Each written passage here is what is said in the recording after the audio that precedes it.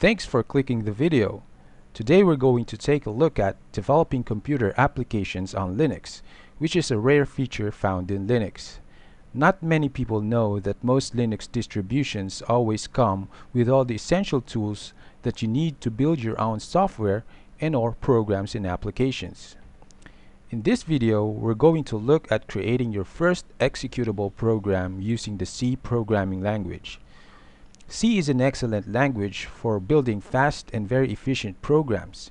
It can be found in applications where speed and memory footprint matter, such as the Linux kernel and data acquisition systems.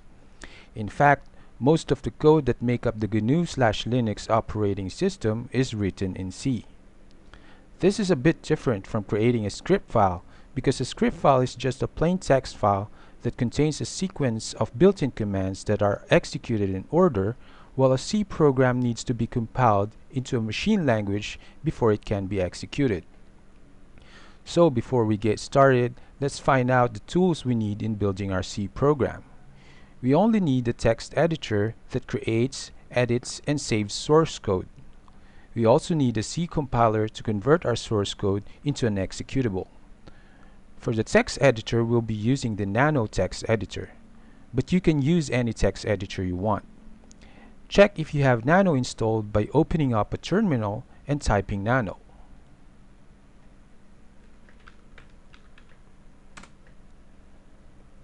If you don't get a command not found message, that means you have Nano installed on your system. Otherwise, if you're on Ubuntu or a Debian-based distribution, then you can easily install it with sudo apt-get install nano. If you're using a different flavor of Linux, however, you can check the manual or ask your administrator to help you with the installation. To exit Nano, just hit Ctrl X. For the C compiler, we'll be using the GNU Compiler Collection or GCC, which contains a C compiler among many other languages. Most of the time, Linux comes already equipped with GCC, but you can always check if you have it on your system. On your terminal, type gcc tac version. And if you don't get a command not found message, that means you have GCC on your system. Otherwise, if you're on Ubuntu or a Debian-based distribution, then you can easily install it with sudo sudo apt-get install gcc. If you're using a different flavor of Linux, however, you can check the manual or ask your administrator to help you with the installation.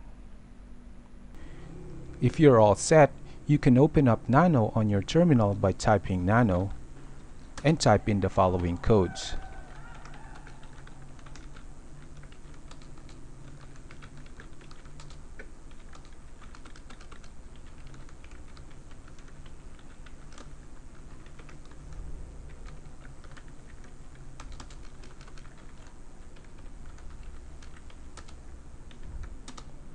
A link to the source code used in the video is available in the description below. To save your work, hit Ctrl O. If you're saving your work for the first time, then you have to give it a file name. We'll call it hello.c. Now press enter to save the file and hit Ctrl X to exit Nano. Check if it has saved your file with ls. And compile it with gcc tac-o hello hello.c.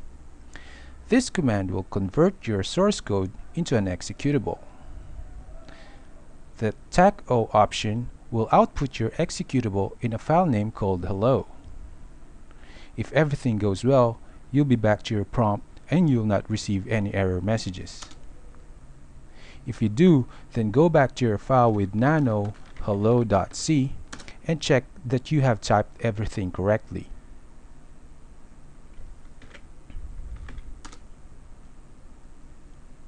We can now run, run our program by typing dot slash hello.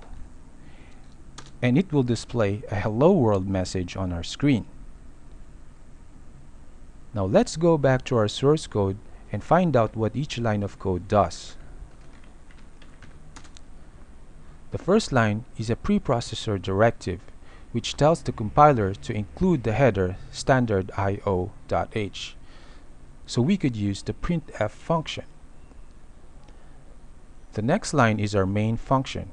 It serves as the entry point to our program. When we call our program with the dot slash command, the operating system passes the control to our main function. So C program must have only one main function. This line is preceded with a return type, which is an integer type.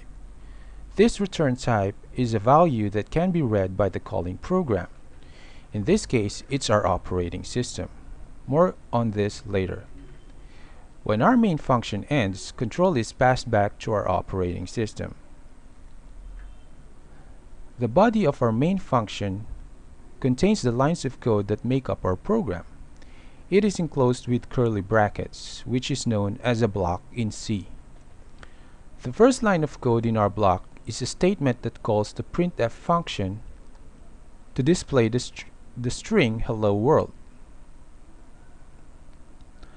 A string is a sequence of characters enclosed in double quotes.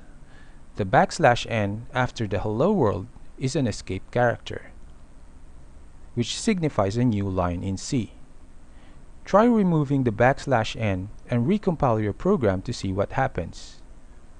Finally, a statement is ended with a semicolon to let the compiler know that it is the end of the statement.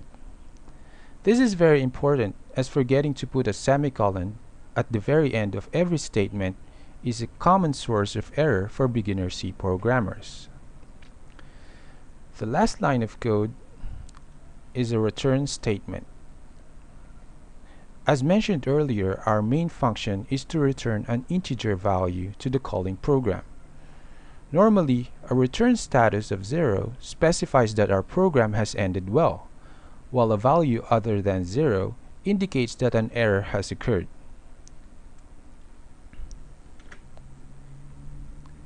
You can read the return status by typing echo dollar question mark immediately after running your program.